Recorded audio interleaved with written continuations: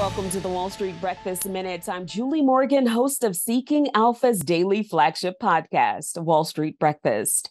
Facebook parent company Meta Platforms is holding an event catered toward developers and creators. The event is for those looking to build virtual environments in the metaverse. The one day conference is called Meta Connect. It's scheduled for October 11th. We'll find out more about it in the coming weeks. Year to date, Meta is down more than 53%. Apple is having its day to day, but Google has sent out invitations for its product event next month, where the tech giant is expected to announce new smartphones and smartwatches.